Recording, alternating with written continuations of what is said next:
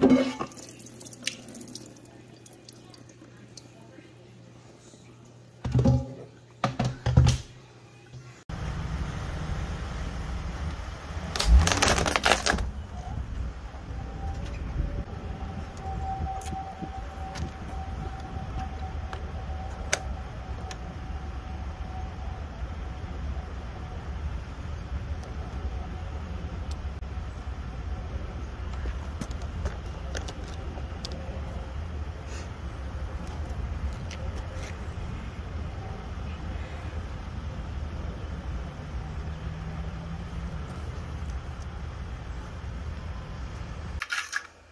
All right, so let's take a look at what the carnage was after I ran this thing over.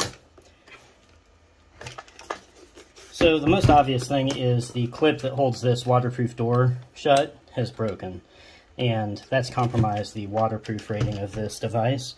The RAM and wireless cover is all scuffed up. There's a missing screw, but most importantly here, there's a crack in the aluminum frame that also compromises its waterproof rating. And finally, something up here in the lid of the laptop, probably the antennas, has broken loose. I'm going to crack this open, not literally, I'm going to unscrew the lid and see if I can figure out what's going on. That's it.